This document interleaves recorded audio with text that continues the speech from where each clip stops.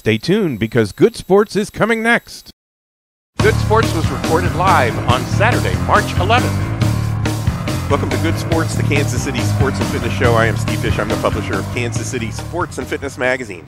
Today we're here at the Kansas City Ice Center, located on Johnson Drive, two miles west of 435, where you can skate on their outdoor pavilion or on their indoor ice rink. Call 913 441 3033 or visit their website, kcicecenter.com, for more details on public skate sessions, spring hockey, upcoming camps, and their Learn to Skate and Learn to Play hockey programs. Now, before we get started with the show, I want to tell everyone that our current issue of Kansas City Sports and Fitness can be picked up at over 700 locations in KC, and it's absolutely free.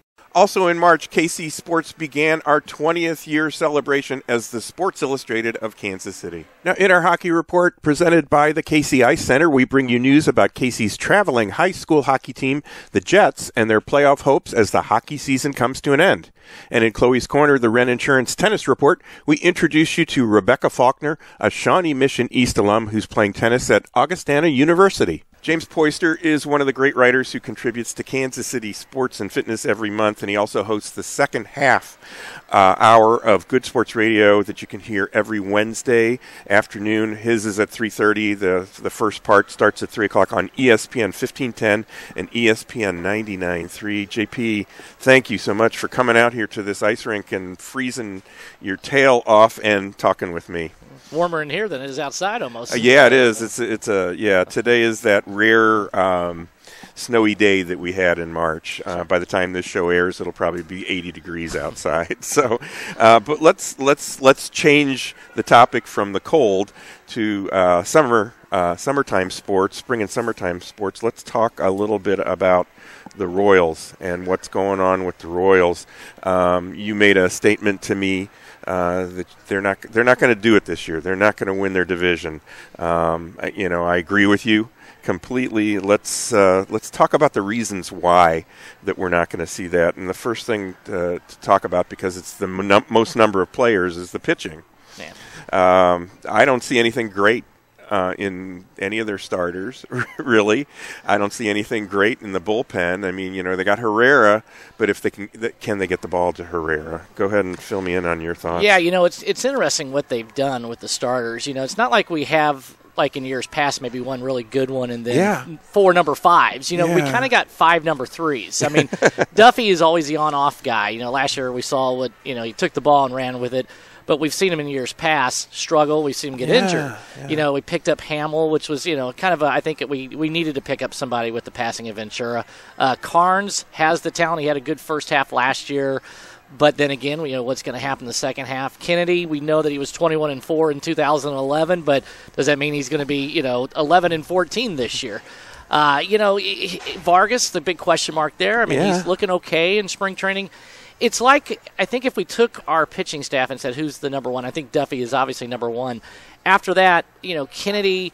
We got a good staff. The question is, is, is the potential going to be performance again this year? Because, you know, we've seen like with Volquez in the past. Boy, he had a good year, and then all of a sudden we saw him not so much. but uh, yeah. I don't mind this. I don't mind it. It's it's right. It's not a good. It's at least not a bad starting staff. That's kind of the the flip side.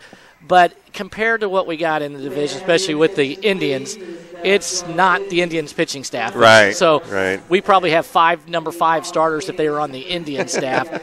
But I, I don't mind it, but I don't think it's good, but not great. Yeah, and and we know Dayton Moore. You know, he had to go for the best that was out there, and he he certainly did his job with that. It's just it's just so iffy on you know if two of them are are not two of them are good, that's great. If two of them two or three of them are bad, then you know then they really suffer. Yeah. Well, Wood's Wood's a nice pickup too. Wood and Karns could be a couple Yeah. of get long long relief guys. So I have a feeling we're going to see probably at least six or seven different starters this year uh, in this rotation. Hopefully not at once, but I, I, again, it's it's not a staff that I think is a championship caliber. You don't have that one guy that go, hey, we got a four game losing streak. At least we know we're going to get a win. Yeah, yeah. We don't have that guy. Yeah, to break to break that. Yeah, absolutely. And then you move to the bullpen, and the bullpen is, you know, as I mentioned, you know, Herrera might be the the guy this year. He certainly has proven himself over the last couple of seasons uh, with what he can do and how he can perform. But who's going to you know the, the the Royals way is is seventh, eighth, ninth, uh, different guys in there. You know, Soria, mm, Soria is a big giant question mark. Uh, he did not he did not perform Right. the, the way we wanted him to. What's your thoughts? Well, you know, you, you look at that. We had the, we kind of invented that seven, eight, nine scenario. Mm-hmm. I mean, we really took it to the next level. The, the Reds kind of did it with the Nasty Boys back in the in the '80s, late '80s, early '90s. But but the Royals kind of reinvented the way. Hey, get it to the bullpen, and you're going to win with the HDH Yeah. show. But now, you know, the Davis. Uh, moving on, and Herrera, and of course Soria. I liked the signing when we got him, but then Oh, yeah. I thought it was one of those things. Well, he's coming back to Kansas City. He'll find his way. He always found his way to get some saves. Obviously, last year was just atrocious, and I don't think Ned handled them well. You know, we've got some guys, a lot of lefties in the bullpen that could come out, but it's not the HDH show. It's going to be, you know, it's not going to be high quality stuff. It's going to be, you know, analog. I don't know how else to put it. Uh, you know, an antenna, but uh, yeah, it, it's just almost like they've contr- completely reinvented themselves with the pitching and the offense as well. So who knows what this Royals team's going to do? But uh, you're right, that bullpen is iffy at best. And I was kind of surprised they didn't go after some other players. But I'm not a, a relievers are type of people that just kind of grow into the positions. Not like they groom them in the minors as much. They just kind of well, you can't make it as a starter, Yeah, and you're yeah. now. I mean, look at Davis. He was a number four, number five starter with Yeah, Tampa. Comes up, becomes one of the top closers in baseball. Yeah, yeah, definitely for sure. So then now we can move around the infield. Um, we'll start at third base. Moustakas. I mean, you know, everybody thinks great things about him, and he's a quality player, and he's a quality teammate, and all that kind of stuff. But he's coming back from injury. How long is it going to take him to get back up to speed? I know this is a big year for him because he goes into free agency. But how long is it going to take him to get, get going? Well, they're just starting to put him at third base right now as we Yeah, speak, and yeah. so uh, he's that guy that's a fighter. I think he'll play hard. He, he's a he's a kind of of all the players that we, you know, we'll be talking about. He reminds me of the true Royal that we want to have on the team. Yes. cheerleader player, um, not necessarily always a team leader, but I mean he's always out there on the on the top. But yeah, I it, this is a big year for for Moustakas because is a contract year. Usually, bank air in the players' favor because they're going to have better stats, which helps the team out Right. yet he's not what I would say in the top five third basemen in the American League. So it's Right. not like I think he's one of those guys. Like a lot of the players have a lot more value on Kansas City in value to us than he would on another team. So uh, I don't see him maybe going out and hitting 280 again. And again, depends bat him in this lineup. I mean, who knows what Ned's going to do with that lineup? Well, that yeah, that that is that on the bottom of my list is Ned Yost. Oh, yeah. as, A lot of people's lists. as- yeah, as a question mark. Uh, second base, second base is second base has just been a problem for the Royals for so I can't even remember back. Uh, you know, I mean, you can go back to Frank White, but, but no, I can't even remember back when it was solid Yeah, uh, on second base, and it's not now. No, not at all. I mean, and, and that's kind of been that, that side of the infield and, of course, right field as well. But, uh, you know, Merrifield kind of came up and he kind of reminded me of right-handed hitting Ben Zobrist. Play multiple positions, and you need a you need a switch army knife player, and that's where I hope Yeah, Merrifield yeah, yeah. stays because he could play third. Colognes could could play possibly. Uh, Mondesi seems to be the guy now. He had the concussion scare. Looks like that's going to be okay. He's gonna be okay. Yeah. and so you know, I like Mondesi was the one that they've always been talking about. They brought him up young, and it's one of the few players the Royals have brought up in their you know teens, twenties to say, Yeah. hey, look, we want to see what you can do. I believe we're going to see something in Mondesi this year. I've been projecting him to be the starter this year at second base, Mm-hmm. where a lot of people say he should one more year in AAA. I say get him up now. I mean, Yeah. this is that year where you don't know. There's so many unknowns, so you might as well put a guy like that. And I see him possibly being in the second base, but uh, who knows? I mean, maybe we might get that Frank White player, a long-term Royal, playing second base in Mondesi. That would be nice. That would be nice to see them solidify that because that side of the infield, except for Hosmer, you know, and into the outfield, is has just been again another one of those big giant question marks. And we're you know we're uh, we're back in that that same spot with right field is. You know, an uncertainty as to what we have out there. I mean, supposedly the uh, Soler's got power and, and you know brings the things that, that we want to get, but we don't know anything about this guy really, and he doesn't hasn't played as much as we'd like to know. I mean, there's not really that much history on him. Yeah, there's a lot to say about what's going to happen in that outfield. You know, and right field is probably, you know, it's a position Cain probably should play more, um, but they're going to put him in center, but they could put him in right. Uh, Soler could he could obviously you know play right field in DH. Um, he's got a little stigma coming about the way he hustles or lack of they- there. You yeah. know, when he's in Chicago. But that power is kind of raw, and it kind of goes against the grain of what the Royals usually go. We want speed and, and you know fine defense out there. you know out there at the K. But uh, again, Dayton seems to be that guy that makes moves that we question, and most of them we very rarely say. Well, you know, we, we thought Alex Rios was the fix, and Rios, you know, his first game hit a home run, and then he gets sick or hurt and all this, and he never His became hand or something, Yeah, his yeah. hand, everything just banged up. He did come through the postseason, I felt, but he was the guy that, that I thought would be a good right fielder. So maybe other than that, I mean, at least we don't have Morales out there playing right field like we did a little bit last year.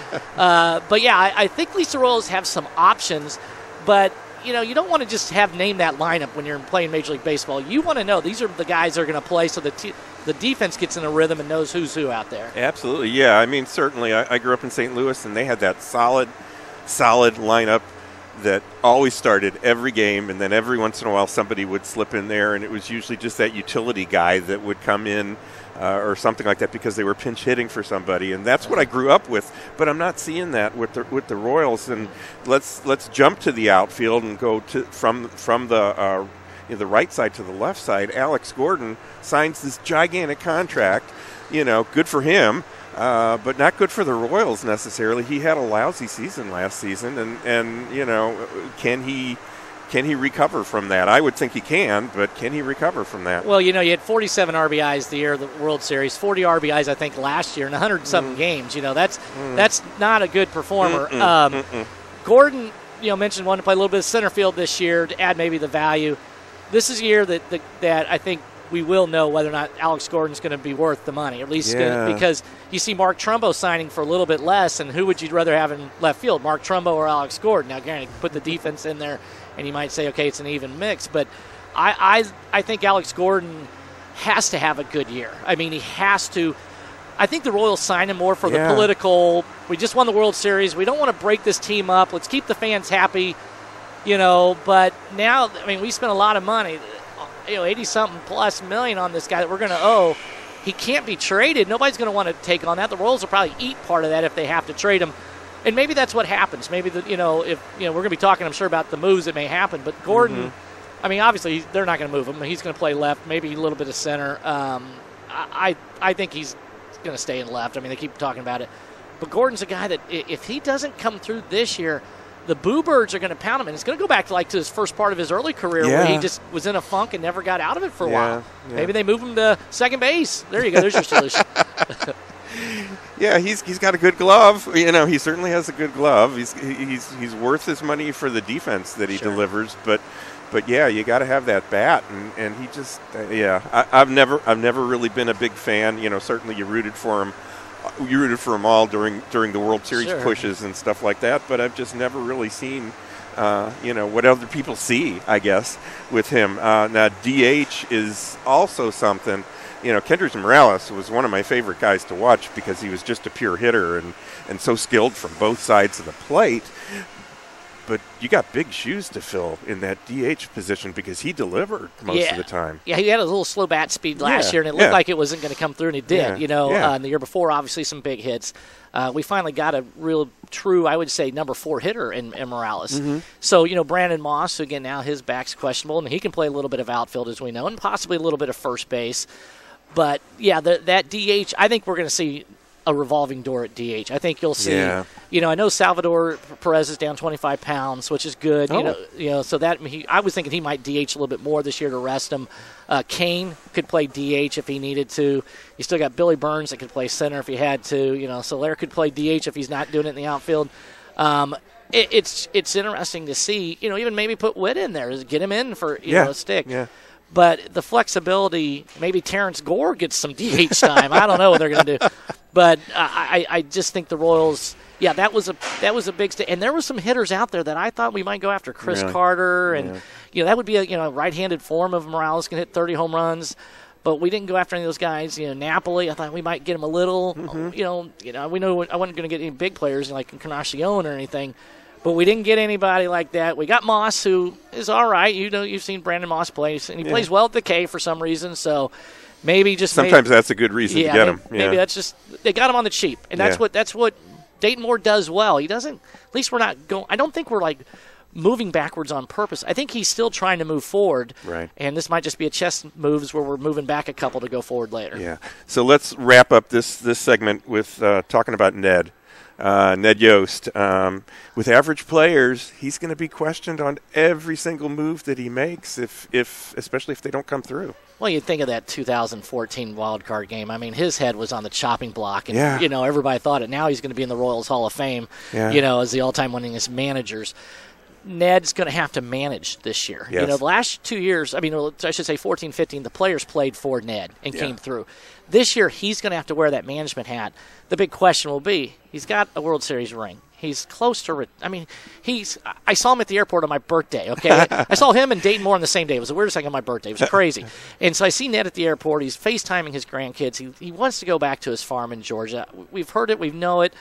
I mean, this will be the year that if Ned just kind of sits there and does that grimace face all year, I mean, we don't know.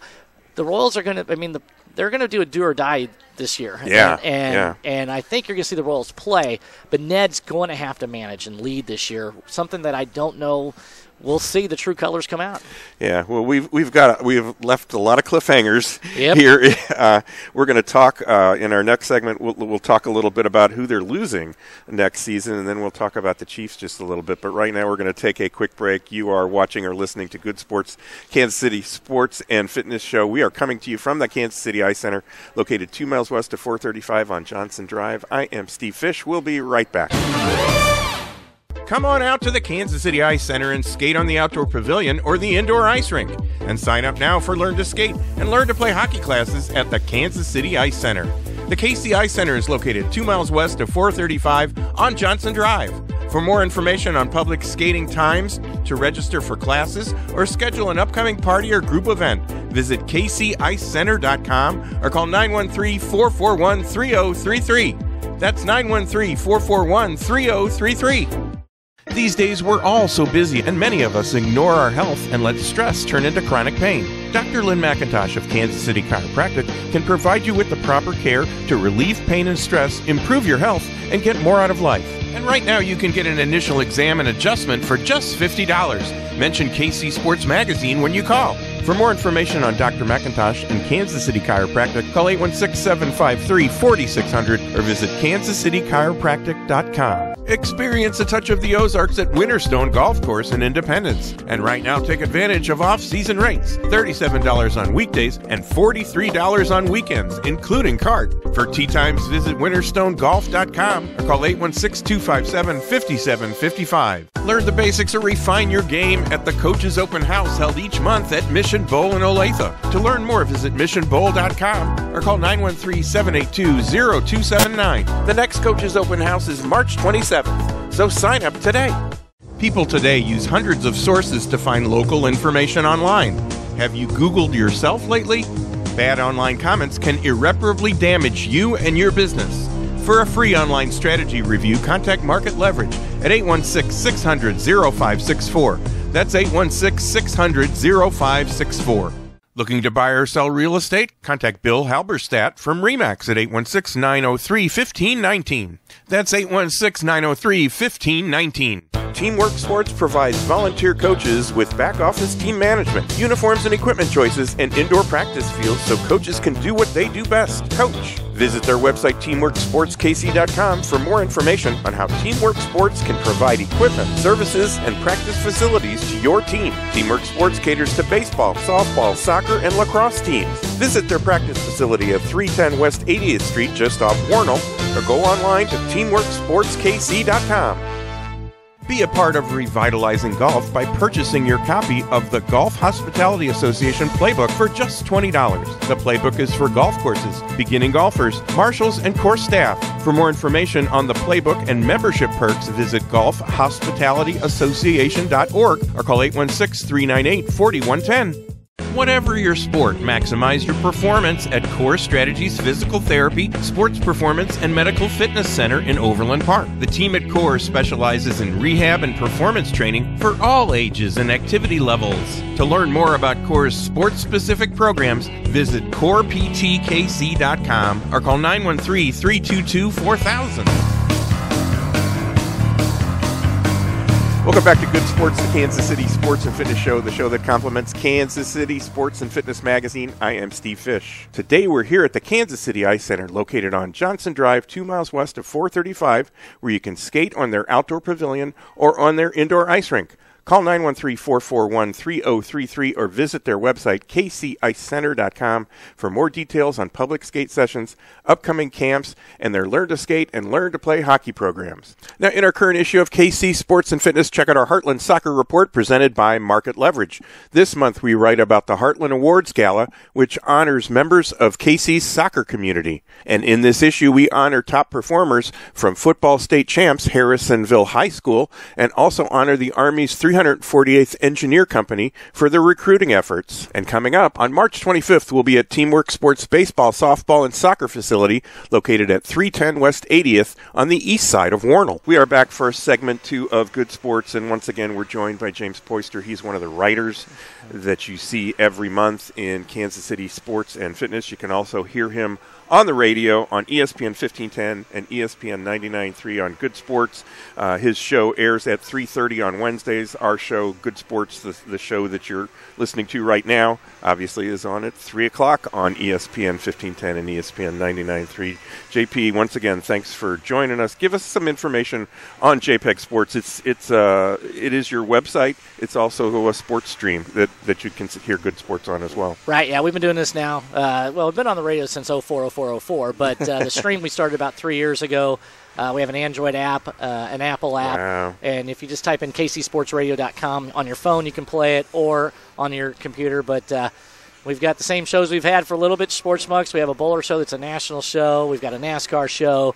Uh, talking baseball, of course, good sports, and of course we've got the KC Phantoms coming uh, seven o'clock to ten o'clock uh, live. So the pretty pretty full schedule coming up now this uh, this summer here. So let's touch base just for a second on uh, the 2018 Royals because there's a lot of guys that are either going to be traded this year so that they can get some value for them, or we're going to lose them. Uh, you know, I mean, I can say Alcides Escobar, we're going to lose him because they're paying him 6.5 million he's going to go for a whole lot more than that somewhere else, or they're going to have to find that. You think, but I mean, here's a guy that, that steals 17 bases, 260 hitter, seven home runs, at a position that does produce some power. Good glove, not necessarily great. Um, I think it's one of those things that is Escobar uh, probably will move on because somebody will see the value. There, a lot of times that stigma Yeah. of being on back-to-back World Series teams, people think there's something special about that player. Right. They take the team away from it. Not always, but I, I think Escobar, Escobar is definitely going to be gone. Yeah. So, so some of the other guys that are that are on track to uh, be be uh, you know talking to other people are Hosmer, uh, Lorenzo Cain, Vargas. Vargas, we'll see what he does this year, and Moustakas. Uh, which ones do you think are going to stick? Which ones, or should they keep? And which ones do you think are going to go by? You know? Yeah, you hear them all talk in the spring, and they all say they want to finish their career with the Royals. Of course, they're going to say that. You know, Cain's a guy that kind of reminds me of Jeff Francoeur. Everybody loves him. Every player, Yeah, you know, media yeah. loves him. He's a guy that can move on. Um, that just because a team will want him for the clubhouse. Moustakas, I, like we said before, not necessarily the, the best third baseman in, in the American League. His value, I think, underrated is his glove. But I, I think Moose might be a guy that stays. I think we have a better chance of keeping Moose than we do maybe anybody else.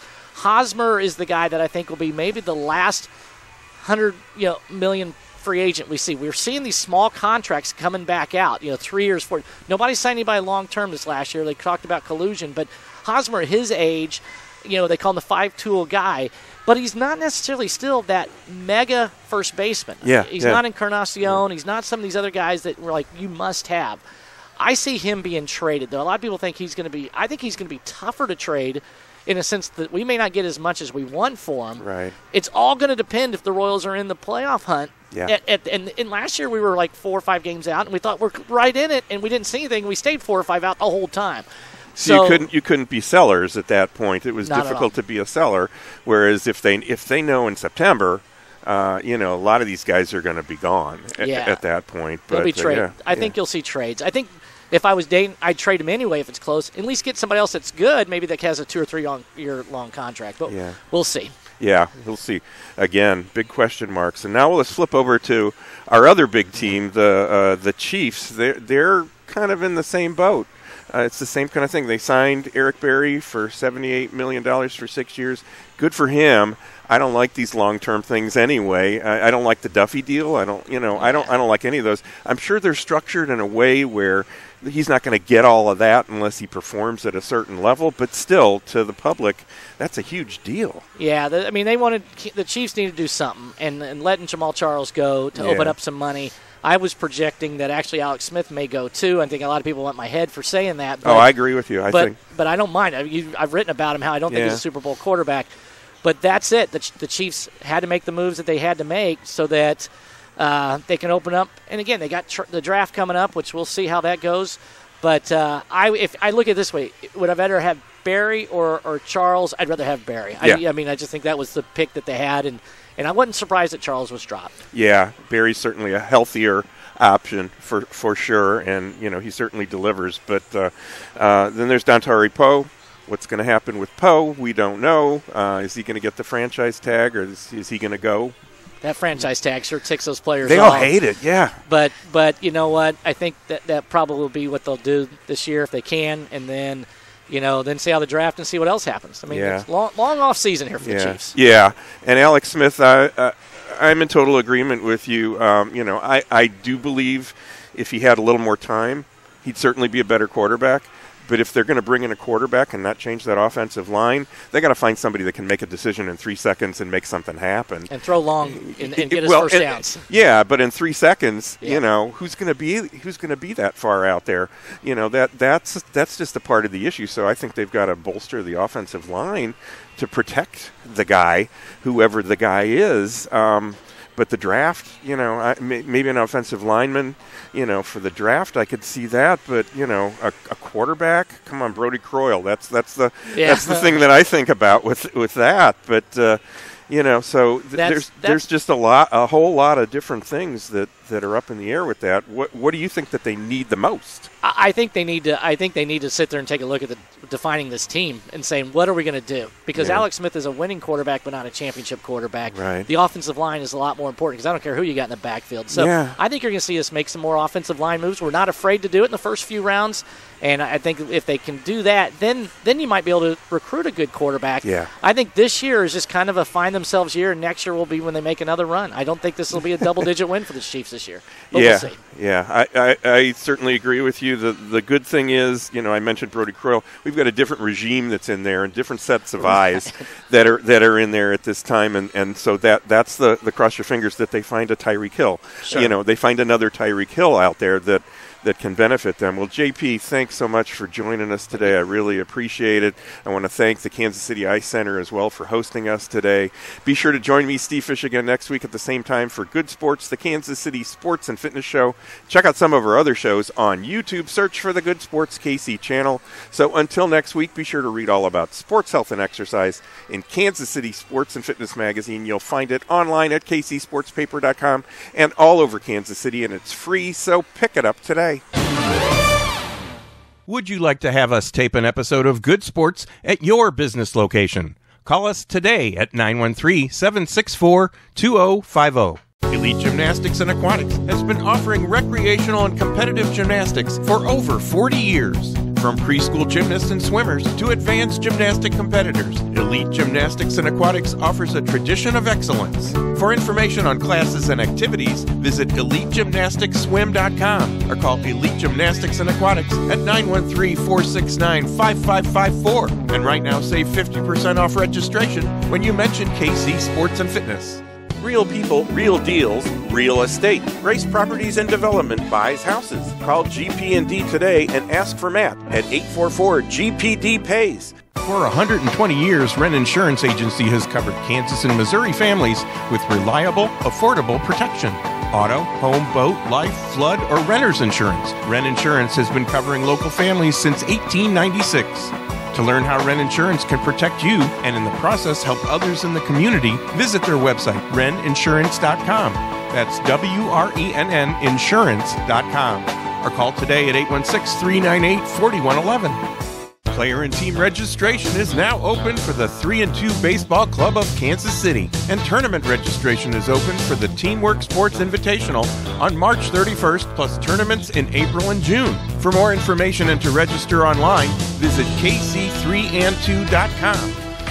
Catch the attention of sports fans in KC and reach over 70,000 readers of Kansas City sports and fitness each month. Call 913 764 2050 for details or visit kcsportspaper.com. Thanks for tuning in to Good Sports. Watch more episodes on the Good Sports KC YouTube channel.